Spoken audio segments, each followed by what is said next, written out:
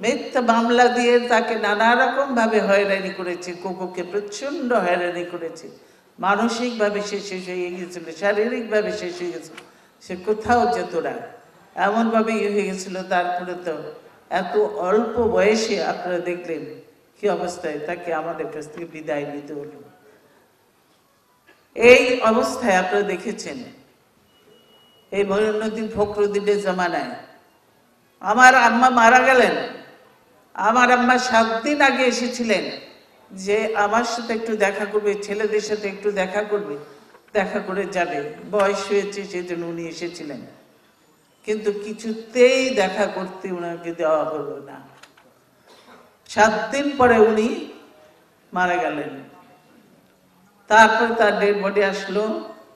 সেই dead body নিয়েও বহু ঝামেলা। ছেলেদেরকে ঘণ্টার পর ঘণ্টা এই থানায়, ওই থানায় ঘুরিয়ে বসিয়ে রাখে। একসঙ্গে নিয়ে যাবে দুইজনকে দুই ভাইকে একসঙ্গে দেখা করতে দেবে না, মুখোমুখি হতে দেবে না। সেজন্য বসিয়ে রেখে নানা রকম ই করে আমি সকাল বলেছি আপনাকে এগারোটায় আমরা ই করব। এগারোটা থেকে বসে আছি, কিন্তু নিয়ে গেছে আমাকে সন্ধ্যে সাতটার সময়। তারপরে একটুখানি দেখে চলে আসলাম আমরা। এই হলো অবস্থা। কাজেই অত্যাচার, নিপীড়ন, জুলুম চলেই এসছে আমাদের উপর দিয়ে, বিএনপির উপর দিয়ে, আমার নিজের উপর দিয়ে, আমার পরিবারের উপর দিয়ে। তারপরেও আমি বলেছি যে এই দেশের মানুষের জন্য শহীদ জিয়া যে নীতি আদর্শ দিয়ে গেছেন, যে কর্মসূচি দিয়ে গেছেন, এটাই হলো সঠিক। এবং এটা করতেই তার কি লক্ষ্য ছিল? তার লক্ষ্য ছিল যে এই দেশ থেকে দারিদ্র দূর করব আমরা, এই দেশ থেকে অশিক্ষা দূর করব, সকল ছেলে মেয়েকে স্কুলে পাঠাবো, স্কুলে যাবে সকল ছেলে মেয়ে। এই দেশের ব্যাপক উন্নয়ন করব, এই দেশে আমরা ধান উৎপাদন করব, এই দেশে আমরা, এই দেশে আমাদের ইন্ডাস্ট্রিগুলোকে আমরা গড়ে তুলব। সেই জন্য তিনি টেক্সটাইল সহ নানা রকম ইন্ডাস্ট্রি আমাদের বন্ধ হওয়া কিছু ইন্ডাস্ট্রিও তখন কিন্তু তিনি তিন শিফটে চালু করলেন যাতে উৎপাদন বাড়ে। তিনি এইভাবে বললেন, সকল ইন্ডাস্ট্রি চালু করতে হবে। নতুন নতুন ইন্ডাস্ট্রি যাতে হয়, তার জন্য ব্যবস্থা করতে হবে। বিদেশি বিনিয়োগ ব্যাপক আসতে হবে বাংলাদেশে। এই যে গার্মেন্ট শিল্প আছে পথে বসতে বসে, ধ্বংস হতে বসেছে। গার্মেন্ট শিল্প ছিল শহীদ জিয়ার অবদান। তিনি শুরু করেছিলেন এই গার্মেন্ট শিল্প। গার্মেন্টস তিনি শুরু করেছিলেন। কিন্তু কিন্তু আজকে সেই গার্মেন্টসকেও ধ্বংস করা হচ্ছে। পাট শিল্প তো আওয়ামী লীগ আমলেই শেষ করে দিয়ে এসেছে পাট শিল্পকে। পাটের গোডাউনে প্রতিনিয়ত আগুন জ্বলতো না, আপনারা দেখেছেন? দেখেছেন কাজে পাট শিল্প ধ্বংস করেছে। বস্ত্র শিল্প এখন ধ্বংস হতে বসেছে তাদের ভুল নীতির কারণে। তাদের ভুল নীতির কারণে তাদের স্বজন প্রীতির কারণে আর অন্যান্য কারণে আজকে দেশের শিল্প কলকারখানা বন্ধ হয়ে যাক। দেশের মানুষ মরুক, দেশের মানুষ না খেয়ে থাকুক। কিন্তু আমি চেয়ারটায় বসে থাকতে পারব, যাদের খুশি করা দরকার তাদেরকে খুশি করে থাকব। এই হলো তাদের নীতি। এই হলো তাদের নীতি। কাজে মুক্তিযোদ্ধা ভাইয়েরা আপনারা তো এই জন্য দেশটাকে স্বাধীন করেননি। এই জন্য দেশটাকে কেউ স্বাধীনতা চায়নি এই দেশের। কাজে এখন এমন এক চরম অবস্থায় দেশকে নিয়ে এসছে যে দেশে নির্বাচন বলতে দেশে আর কোনো পরিস্থিতি নেই। দেশে যতগুলো নির্বাচন হয়েছে, আপনারা দেখেছেন? দু হাজার চোদ্দ সাল থেকে কি এক একটা পরিস্থিতি। দু হাজার চোদ্দ সাল কেন বলব? তার আগেই যখন দু আট সালের ইলেকশনটা হলো, তারপরে যে বাই ইলেকশন হলো, এই যে মেজর হাফিজ আছে ভোলাই বাই ইলেকশনে কি করেছে সে দেখুক সে একজন মুক্তিযোদ্ধা হয়ে পর্যন্ত সেখানে টিকতে পারে নাই। তাকে নিজে যান রক্ষার জন্য সরে যেতে হয়েছে, পালিয়ে যেতে হয়েছে আরেক জায়গায়। এই হলো অবস্থা। কাজেই দু হাজার চোদ্দ সালের পাঁচই জানুয়ারি নির্বাচনে একশো চুয়ান্ন জন কখনো আনকন্টেস্টেড হয় এটা কোনোদিন বিশ্বাস করবেন আপনারা? এটাকে কি নির্বাচন বলবেন? তিনশো জনের মধ্যে একশো চুয়ান্ন জন হয়ে গেল। তারপরে বাকি যেগুলো থাকল, সেগুলোরও ভোট আপনার ভোটের দিন দেখলেন। ভোটের দিন দেখলেন যে কেন্দ্রে মানুষ নেই, কুকুর আছে, কুকুর বসে আছে। আর প্রিসাইডিং অফিসার ঘুমাচ্ছে, আর আওয়ামী লীগের গুন্ডা পান্ডারা সিল মারছে আর বাক্সে ভরছে ভিতরে বসে। এই হলো অবস্থা। কাজেই ওখানে একজন অ্যাম্বাসেডারকে পর্যন্ত নাজেহাল করেছিল। কোথাকার কোন দেশের জন্য সুইডিশ। সুইডিশ অ্যাম্বাসেডারকেও নাজেহাল করেছিল। সে পালিয়ে কোন রকম যান বাঁচিয়েছে, বুঝেছে কি অবস্থা বাংলাদেশে কাজে দু হাজার চোদ্দ সালে আমরা নির্বাচনে যাইনি এই কারণে। আমরা নির্বাচনমুখী দল, কিন্তু যাইনি তারপরেও। কারণ আমরা জানি নির্বাচনে গেলে কি অবস্থা হবে সেখানে। আমাদের কোনো এজেন্টই টিকতে পারবে না সেখানে। জনগণকে যেতে দেবে না, তাহলে ভোট তো দেবে আমাদেরকে জনগণই। সেই জন্য আমরা নির্বাচনে যাইনি। কিন্তু তারপরে আপনারা হয়তো বলতে পারেন, তারপরে যে ইউনিয়ন কাউন্সিল হলো, উপজেলা হলো, মেয়র হলো, এগুলোতে আপনারা কেন গেলেন? এটা হ্যাঁ। কারণ যে আমরা গেছি দু হাজার ওই নির্বাচনগুলিতে যে ওগুলো হলো লোকাল গভর্নমেন্টের ইলেকশন স্থানীয়। সরকারের ইলেকশন সেই জন্য স্থানীয় লোকজনদের একটা ভোটের একটা ফুর্তি থাকে আমেজ থাকে আনন্দ থাকে। মানুষ ছাড়তে চায় না ওইসব ইলেকশন সেই জন্য ইউনিয়ন কাউন্সিলের ইলেকশনে আমাদের প্রার্থীরা গেছে। উপজেলায় গেছে। প্রথম দুইবার উপজেলা নির্বাচনটা কিছুটাই ছিল। ভালো ছিল। নিরপেক্ষ ছিল সেখানে বিএনপি, আমরা ব্যাপকভাবে এগিয়েছিলাম। তারা দেখল যে বিএনপি যেভাবে এগিয়ে যাচ্ছে, তাতে বাকিগুলোও যদি এরকম হয়, তাহলে তো তাদের অবস্থা খারাপ হয়ে যাবে। তখন শুরু তাদের সন্ত্রাসীদের নামিয়ে দিয়ে গুন্ডামি শুরু হলো। তারপর যা ফলাফল হওয়ার তাই হলো। মেয়র ইলেকশনে এই আমাদের নেতা কর্মীরা সবাই কাজ করেছে। সমস্ত জায়গায় মেয়র ইলেকশনে সেজন্য আপনারা দেখেছেন, চট্টগ্রাম, রাজশাহী, খুলনা, বরিশাল এবং গাজীপুর। সব জায়গায় আমাদের নেতারা গেছে, কর্মীরা গেছে, ছেলেপেলেরা গেছে, ছাত্রদল, যুবদল সব অঙ্গ সংগঠন গেছে, কাজ করেছে। ফলে কি হয়েছে রেজাল্ট মানুষ যে ধানের শীষে প্রার্থীকে পছন্দ করে বা ধানের শীষ ইয়ে করে সেটার প্রতিফলন দেখিয়েছে তারা সেই নির্বাচনগুলিতে। তারা গেছে ভয়ভীতি উপেক্ষা করে যে ভোট দিয়েছে এবং প্রতিটিতে আমাদের মেয়র বিজয়ী হয়েছে। কিন্তু বিজয়ী হলে কি হবে? এটা তারা বেশি দিন সহ্য করতে পারে না। এটা তাদের নীতিতেই নাই। সেজন্য তারা নানা ফন্দি ফিকির করে সব মেয়রগুলোর নামে আমাদের মিথ্যে মামলা মিথ্যে মামলা দিয়ে জেলে রেখেছে কাউকে, আর কেউ এখনও বরখাস্ত আছে। এই হলো অবস্থা সত্যিকারে কাজে মেয়ররা, নির্বাচিত প্রতিনিধিরা ক্ষমতায় থাকতে পারবে না। তো অনির্বাচিতরা দেশ চালাবে এবং নতুন নতুন আইন করবে। এই হলো অবস্থা। এখন পৌরসভা, সামনে পৌরসভা নির্বাচন, তিরিশে ডিসেম্বর। সেখানে এবার নতুন ফোন দিয়ে এটেছে এতদিন কোনোদিন কিন্তু পৌরসভা নির্বাচন কোনো জাতীয় মার্কা দিয়ে হয় নাই। এই প্রথম বের করেছেন তিনারা যে জাতীয় মার্কা দিয়ে নির্বাচন হবে। দলীয় প্রতীক, সেটা দিয়ে নির্বাচন হবে। সেই জন্যই তারা এটার পিছনে তাদের নিশ্চয়ই একটা কোনো লক্ষ্য আছে, উদ্দেশ্য আছে এবং ষড়যন্ত্র আছে। যে তারা দেখিয়ে দিবে, তারা তো নির্বাচন চিন্তাই করবে, অত্যাচার করবে, যা করে তাদের স্বভাব। আমরা দেখেছি আগের নির্বাচনগুলিতে। দেখেছি করে তারা দেখাবে যে ধানের শীষের পক্ষে এখন আর জনগণ নেই, সব নৌকার পক্ষে।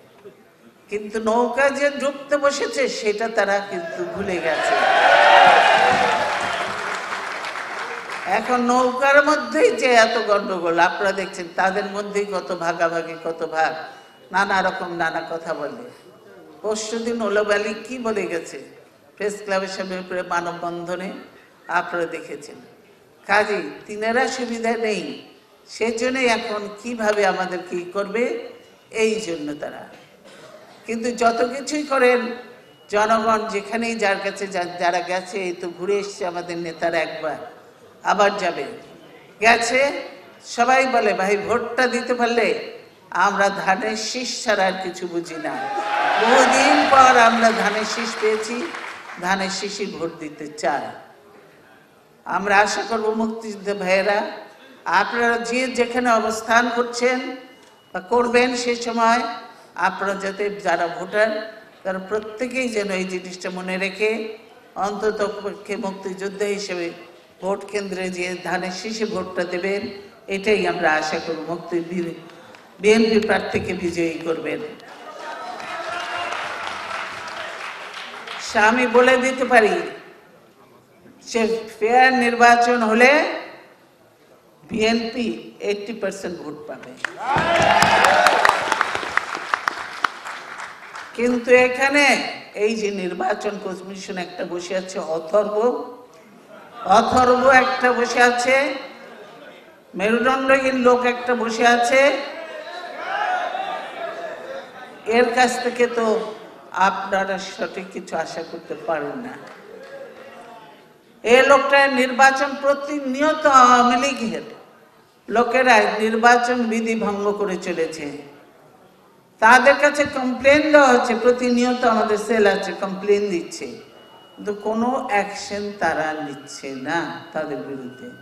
এমনকি স্বয়ং হাসিনা নিজে সে নির্বাচন বিধি ভঙ্গ করেছে এবং সেটা নির্বাচন কমিশনকে জানানো হয়েছে। তারপরেও সে বোবা হয়ে আছে এই হলো অবস্থা। কাজে সেজন্য আমরা বলেছি, এই নির্বাচন যদি সত্যিকারে ফেয়ার করতে হয়, নিরপেক্ষ করতে হয়, তাহলে সেনাবাহিনীকে মোতায়েন করতে হবে। শুনলে আমরা কিছুটা আশা করতে পারি যে নির্বাচন ফেয়ার হবে, আমরা আশা করি। কিন্তু সেনাবাহিনী কিছুতেই হাসিনা দেবেন না তাদের। হাসিনা সেনাবাহিনীকে মাঠে নামাতে চান না। আর পুলিশ বাহিনীকে তারা দলীয় বাহিনী হিসেবে ব্যবহার করেন নিজেদের কাজে। পুলিশ সব খারাপ, আমি বলব না। কিছু হয়তো খারাপ আছে তাদের সেই দলীয় হতে পারে, কিন্তু বাকি সব মোটামুটি ভালো। এবং তারা চায়, কিন্তু তারা অসহায়। এবং সিভিল যারা অ্যাডমিনিস্ট্রেশনে আছে, তাদের মধ্যেও অনেক ভালো লোক আছে, ভালো অফিসার আছে। তারাও চায় যে নির্বাচনটা অন্ততপক্ষে সুষ্ঠু, নিরপেক্ষ হোক, তারাও তো দেশকে ভালোবাসে। কিন্তু তাদের কাছেও তারা বলবে যে আপনারা যেগুলো বলছেন, আমরা চাই, কিন্তু আমরা বড় অসহায়। উপরের নির্দেশ নাহলে চাকরি যাবে না হলে মিথ্যা মামলা দিয়ে জেলে যেতে হবে নাহলে পরিবারকে নানা রকমভাবে হয়রানি করা হবে, এই হলো তাদের অবস্থা। কাজে সেজন্যই আজকে কেউ কিন্তু কেউ কিন্তু ভালো অবস্থায় নেই। আপনি বলেন, সরকারি অফিসারই বলেন, আর পুলিশ বাহিনী বলেন বা অমুক বলেন, কেউ কিন্তু ভালো অবস্থায় নেই। সকলকেই একই রকম ই করে রেখেছে। তাই আজকে দেশটা হয়ে গেছে একটা কারাগার, আর দেশটা হয়ে গেছে সন্ত্রাসীদের লুটপাটের স্বর্গরাজ্য। আজকে লুটপাট করে দেশকে শেষ করে দেওয়া হয়েছে। এখন শোনা যায় বিভিন্ন জায়গায় সুইস ব্যাংকে তাদের দু হাজার আট সাল থেকে পর থেকে দু হাজার নয় সাল থেকে এত সাল পর্যন্ত এত টাকা, কাদের টাকা? দু হাজার নয় সাল থেকে দু এত সাল পর্যন্ত ক্ষমতায় কারা আছে? তারাই তো আছে। তো টাকা তো তাদের। সবই। ব্যাংকগুলোতে কীভাবে লুটপাট করেছে আপনারা দেখেছেন? কি ডেস্টিনি গ্রুপ অমুক গ্রুপ তমুক গ্রুপ নানা রকম। শেয়ার বাজার শেয়ার মার্কেট লুট কি করে নেই তারা? কাজে কোনো কিছু বাদ দেয় সব বড় বড় প্রজেক্ট নেওয়া হয় টেন্ডার করা হয়, আর কোনো রকম উদ্বোধন দেওয়া হয়। উদ্বোধন করে কাজ হোক, যেমন তেমন তাই আমরা উদ্বোধন করেছি এটাই। এখন স্বপ্নের পদ্মা সেতু। আবার হয়তো মান আসবে ভাসি নিয়ে চলে যাবে। স্বপ্নের পদ্মা সেতু স্বপ্নই থাকবে। স্বপ্নই থাকবে। কিন্তু সেই স্বপ্ন বাস্তবায়ন করার জন্য তো দেশে তো মানুষ আছেই দেশে মানুষ আছে এবং ইনশাল্লাহ আপনারা মুক্তিযোদ্ধারা, আমরা সবাই মিলে আমরা দেশকে ভালোবাসি, আমরা দেশে আবার পদ্মা সেতুও করব ইনশাল্লাহ। শুধু নয়, দুটো দেশে পদ্মা সেতু লাগবে। দুটো লাগবে, একটা মাওয়া দিয়ে লাগবে, আর একটা আরিচা দিয়ে, এদিক দিয়ে লাগবে দোলেদিয়া দিয়ে আমাদের প্ল্যান দুটোই আছে। আরও অনেক উন্নয়ন দরকার, সেজন্যই আমরা এখন বলেছি যে আমরা চাই দেশে গণতন্ত্র ফিরে আসতে হবে। দেশে উন্নয়নের ধারা বইতে হবে। দেশে বিদেশি বিনিয়োগ সঠিকভাবে আসতে হবে। দেশে শিক্ষা প্রতিষ্ঠানে শিক্ষার সুন্দর, সুষ্ঠু পরিবেশ ফিরে আসতে হবে। দেশে সুশাসন প্রতিষ্ঠা করতে হবে, ন্যায় বিচার প্রতিষ্ঠা করতে হবে। সেই জন্য এই যে আমাদের বিচার বিভাগ আছে, এটাকে ঢেলে সাজাতে হবে। অর্থাৎ দলীয় ব্যক্তি নয়, আজকে নিরপেক্ষ অনেক আছে, ভালো অনেক জাজ আছে, যাদের দিয়ে ইন্ডিপেন্ডেন্ট একটা নিরপেক্ষ জুডিশিয়ারি হবে। যারা ন্যায় বিচার করবে। সেই ন্যায় বিচার হবে। প্রশাসন নিরপেক্ষ হবে। প্রশাসনে কে আওয়ামী লীগ, কে বিএনপি, এগুলো বিচার হবে না। কে জাতীয় পার্টি, কে অমুক পার্টি, এগুলো কোনো বিচার হবে না। বিচার বিশ্লেষণ হবে, তাদের অভিজ্ঞতা, যোগ্যতা, দক্ষতা দিয়ে প্রমাণ হবে। সেটা হবে। সেনাবাহিনীতেও তাই হবে। অন্যান্য জায়গায় পুলিশ বাহিনীতেও তাই হবে। তারা কথায় কথায় বলে, যে আমি ক্ষমতায় না থাকলে বিএনপি আসলে সবকে চাকরি থেকে বের করে দিবে, সবকে জেলে পড়বে। না, তারা তো অপরাধ করেনি। অপরাধ করেছেন আপনি। আপনি এদেরকে বাধ্য করেছেন অপরাধ করতে। তাহলে এরা জেলে যাবে না। আপনার সব কিছুই জানেন, আপনার সত্য কথা বলবেন। তারপরে যা আইন আছে, সেইভাবে আইনগত ব্যবস্থা হবে। কাজে কারও চাকরিও যাবে না, কেউ জেলেও যাবে না, কোনো কিছু কাউকে হয়রানিও করা হবে না। তাই আমি বলতে চাই, নির্ভয়ে, নির্দ্বিধায় সকল পেশার মানুষ, সকল পেশার মানুষ ভুলে যে আজকে দেশটার দিকে তাকান। দেশটার দিকে তাকান। আপনারা দেখলেন ওদিকে যে কীভাবে বর্ডারে এখনও লোক মরে। কিন্তু একটার কি প্রতিবাদ আপনারা দেখেন? একটার তো প্রতিবাদ আমরা দেখি না। আমাদের সেই নিরীহ জনগণ মরে। আপনারা দেখেছেন? জীবনও কখনো এটা হয়েছে যে বিডিআরের ঘটনা? আপনারা ভুলে গেছেন বিডিআর এর ঘটনা মুক্তিযুদ্ধ ভাইয়েরা? বলি এই সাতান্ন জন অফিসার এত ভালো ভালো অফিসার সবাই তো আর্মি অফিসার তাই না? সব আর্মি অফিসার ছিল, এবং তারা অত্যন্ত শিক্ষিত উচ্চ শিক্ষিত নানা রকমের ট্রেনিং তাদের ছিল, দেশে, বিদেশে, সব জায়গা থেকে। এই সাতান্ন জন অফিসার কীভাবে মারা গেল? প্যারেড হলো, কিন্তু রাত্রে অ্যানুয়াল ডিনার প্রতি বছর হয়, অনেকেই যায়। গিয়েছি, আমিও গিয়েছি। তো হাসিনা কেন ডিনারে যেতে ছিল না? হাসিনা কেন ডিনার বলল যে আমি যাব না? গেল না। তারপরের দিন দরবারে কেন এই ঘটনা ঘটলো? হাসিনা সব জানতো, মইনুল সব জানতো মইন সব জানতো। তারপরেও তারা কোনো ব্যবস্থা নেয় নাই। এবং বারবার অফিসাররা ফোন করেছে তাদেরকে, মঈন কেন ক্যান্টনমেন্টের নিজের অফিসে না বসে? মঈন কেন সেদিন চলে গেল? কীভাবে এই গণভবন না গণভবন না এই যে এখানে, সুগন্ধা, যমুনা, সেখানে যে মঈন তিন চিফকে বসিয়ে রাখল হাসিনা। এবং আমরা যতটুকু আর্মি অফিসার আছে হাফিজ আমাকে স্মরণ করতে হবে, ইব্রাহিম আছে এখানে স্মরণ করাতে পারবে। তারা বলতে পারবে যে আমরা জানি যদি আর্মি অফিসার এরকম বিপদে পড়ে তাদের যদি চিফকে ফোন করে চিফে নিজের ক্ষমতা বলেই সে কিন্তু ফোর্স পাঠাতে পারে। ঠিক কি না এটা? সে পারে। কোনো আদেশের প্রয়োজন হয় না। আদেশের হাসিনার আদেশের অপেক্ষায় থাকার দরকার ছিল না। কেন মঈন সেদিন ফোর্স পাঠালো না? বিডিআর চিফ বিডিআর এর কাছে বারবার ফোন করেছে, ইয়ের কাছে, যে না, এটা পরিকল্পিতভাবে এই সাতান্ন জন অফিসার হত্যা করে আর্মিকে ধ্বংস করে দেওয়ার, আর্মির মনোবল ভেঙে দেওয়ার এবং বিডিআরকে চিরতরে শেষ করে দেওয়ার, এটা একটা পূর্ব পরিকল্পনা। সেই অনুযায়ী কাজ করেছে। ক্ষমতায় বসেছে জানুয়ারিতে ফেব্রুয়ারিতে ঘটনা ঘটিয়েছে। তাহলে তার কাছ থেকে যে এই কাজগুলি করতে পারে, তার কাছ থেকে আপনি দেশপ্রেম কি করে আশা করেন?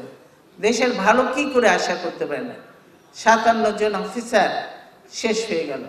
সৈনিকও গেছে। এখন অনেকের বিচার হচ্ছে। বিচার হবে, শাস্তি হবে, জেল হবে, চাকরি যাবে।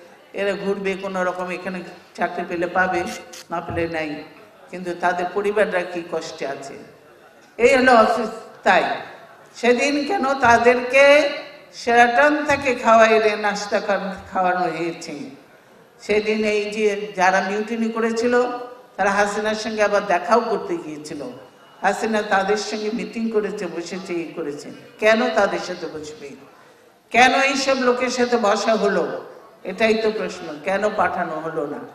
তদন্ত করতে দেওয়া হয়েছিল যে যার হাতে দিয়েছিল প্রথমে, সে ঠিক মতোই তদন্ত করছিল। সেজন্য তাকে বন্ধ করে দেওয়া হয়েছে, তারপরে তাদের অনুগত কাউকে দিয়ে তদন্ত করানো হয়েছে।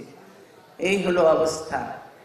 কাজেই আজকে হাসিনার হাতে শুধু রক্ত রক্ত আর রক্ত। ফেব্রুয়ারি দিয়ে শুরু হয়েছে রক্ত। এই রক্ত এখনও চলছে। কত মানুষ হত্যা করেছে, কত মানুষ খুন করেছে।